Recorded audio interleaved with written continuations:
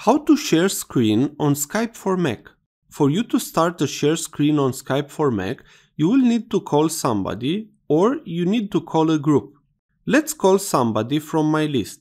Click on that person name and then click the call button from the top. The call has started. Now click on the share screen button from the right bottom.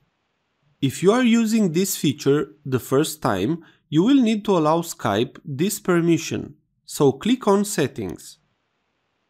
Click on the lock from the bottom to make any changes. Use your fingerprint or password. Now, check the checkbox from Skype to allow screen share. You can click later as this will work. Now tap again on share screen you will have the possibility to share what screen you want. I have the monitor of the Mac and another monitor. Select the one you want if you have two monitors and click Start Sharing. Now screen sharing is working. You see that a red border is near my desktop screen.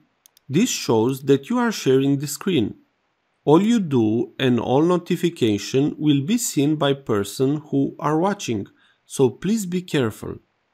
If you want to stop the sharing, go and click the Stop Share button. You have shared your screen on Skype for MacBook. If this was useful, please like, share and subscribe.